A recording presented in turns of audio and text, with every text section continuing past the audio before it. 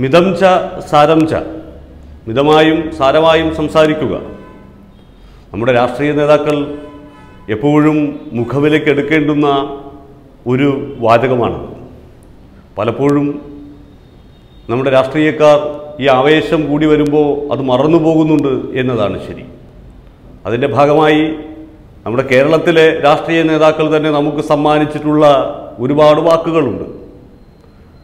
ആ പദപ്രയോഗങ്ങൾ നമ്മുടെ പൊതുസമൂഹത്തിൽ നമുക്ക് ഉപയോഗിക്കാൻ കഴിയാത്തതാണ് എന്ന തിരിച്ചറിവ് ഉള്ളതുകൊണ്ട് അത് പിന്നെയും ആ വാക്കുകൾ പറഞ്ഞ് നമുക്ക് അതിലേക്ക് വലിയ അപഗ്രഥനം നടത്തേണ്ടുന്ന കാര്യമില്ല. എല്ലാവരുടെയും മനസ്സിൽ ഉള്ളതാണ്. മുൻ മുഖ്യമന്ത്രിമാരും ഇപ്പോഴത്തെ മുഖ്യമന്ത്രിയും മറുചേരിയിലെ രാഷ്ട്രീയക്കാരും സി പി എം രാഷ്ട്രീയത്തിലെ പ്രമുഖരുമൊക്കെ അത്തരത്തിലുള്ള പരാമർശങ്ങൾ പലവട്ടം സ്ത്രീകൾക്കെതിരെ നടത്തിയിട്ടുണ്ട്. ജഡ്ജിമാർക്കെതിരെ നടത്തിയിട്ടുണ്ട് രാഷ്ട്രീയ എതിരാളികൾക്കെതിരെ നടത്തിയിട്ടുണ്ട്. അപ്പോഴൊക്കെയും നമ്മൾ നമ്മുടെ രാഷ്ട്രീയ നേതാക്കൾ പാലിക്കേണ്ടുന്ന സംസാരത്തിലെ മിതത്വത്തെക്കുറിച്ച് ചർച്ച ചെയ്തിരുന്നു.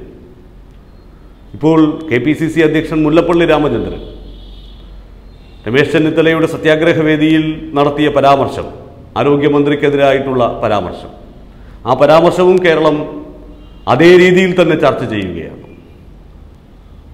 അങ്ങനെ മുല്ലപ്പള്ളി രാമചന്ദ്രൻ ശൈലജ ടീച്ചർക്കെതിരെ നടത്തിയ പരാമർശം അശ്ലീലമൊന്നുമില്ല എങ്കിൽ പോലും ഒരു വനിതാ നേതാവിനെ അധിക്ഷേപിക്കുന്ന ഒരു ചുവയുണ്ട് ആ പരാമർശത്തിൽ എന്നുള്ള കാര്യത്തിൽ സംശയമില്ല.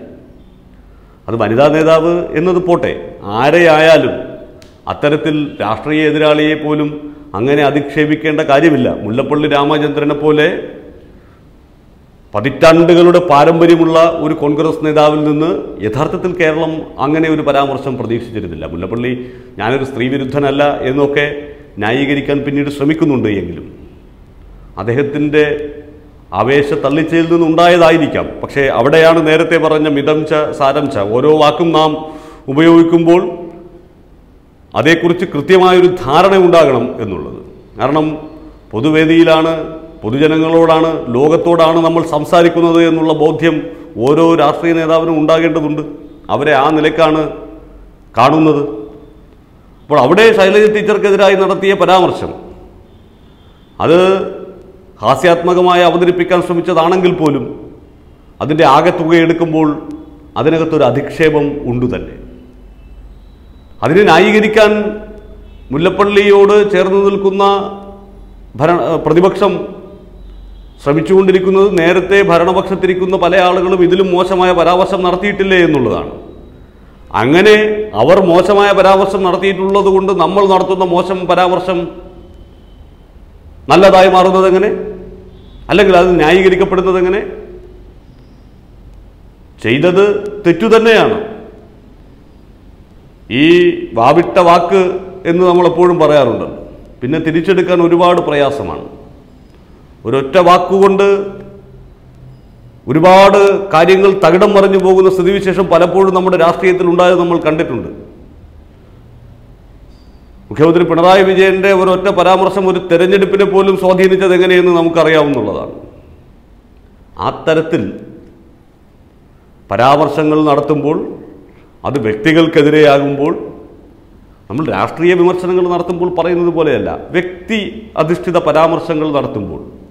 അളന്നു കുറിച്ച് പറഞ്ഞില്ലെങ്കിൽ അത് വിനയായി മാറും എന്നുള്ളതിന്റെ ഒടുവിലത്തെ ഉദാഹരണമായി മുല്ലപ്പള്ളി രാമചന്ദ്രൻ ശൈലജ ടീച്ചർക്കെതിരെ നടത്തിയ പരാമർശം നൽകുകയാണ് എന്തൊക്കെ പറഞ്ഞാലും നമ്മൾ ഈ പ്രതിരോധ കാര്യങ്ങളിൽ ഇപ്പോൾ നിപയുടെ കാര്യത്തിലായാലും ഇപ്പോഴത്തെ വൈറസ് പ്രതിരോധത്തിന്റെ കാര്യത്തിലായാലും ഒരു മന്ത്രി എന്നുള്ള നിലയിൽ ശൈലജ ടീച്ചർ തന്റെ മുൻഗാമികളെക്കാളൊക്കെ എത്രയോ എത്രയോ മുൻപിൽ നിൽക്കുന്നുണ്ട്. ആ യാഥാർത്ഥ്യം നമ്മൾ അംഗീകരിച്ചേ മതിയാവും. അത് കേരളത്തിന്റെ പൊതുസമൂഹം അംഗീകരിച്ചിട്ടുള്ള ഒരു കാര്യമാണ്.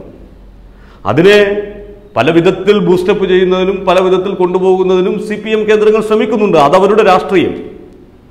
ആ രാഷ്ട്രീയമൊക്കെ മാറ്റിവെച്ച് നോക്കുമ്പോൾ ഒരു പ്രതിസന്ധിയെ എങ്ങനെ അതിജീവിക്കണം നമ്മുടെ ആരോഗ്യ മേഖലയുമായി ബന്ധപ്പെട്ട?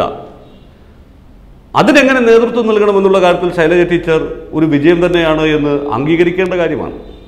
ഒരുപക്ഷേ അത് വലുതായി ഇടത് സൈബർ ഇടങ്ങളിൽ ചർച്ച ചെയ്യപ്പെടുന്നത് കൊണ്ടാകണം മുല്ലപ്പള്ളി രാമചന്ദ്രൻ ഈ പരാമർശങ്ങൾ നടത്തി വന്നപ്പോൾ അത്തരത്തിലൊരു പരാമർശത്തിലേക്ക് പോകേണ്ടി വന്നത്.